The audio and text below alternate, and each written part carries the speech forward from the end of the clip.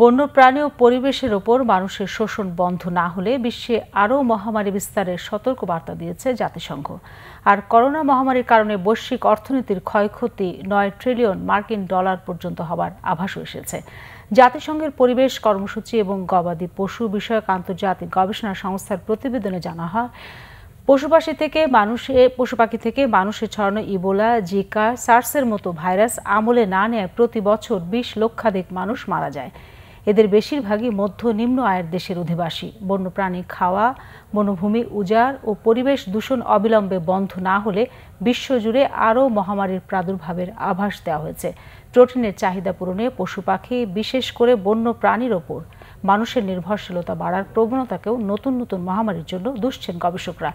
পরিস্থিতি মোকাবেলায় সরকারের উদ্যোগে সুনির্দিষ্ট কৌশল নির্ধারণ করে ভূমির টেকসই ব্যবস্থাপনায় প্রণোদনা দেয়া, জীববৈচিত্র্য রক্ষায় পদক্ষেপ গ্রহণ ও গবেষণায় বিনিয়োগের পরামর্শ দেওয়া হয়। নানা তথ্য উপাত্ত বিশ্লেষণের ভিত্তিতে জানানো হয়, করোনা উদ্ভবের আগের দুই দশকে পশু থেকে মানবদেহে ছড়ানো রোগ ব্যাধিতে অর্থনৈতিক ক্ষতি হয়েছে প্রায় একশো বিলিয়ন ডলার।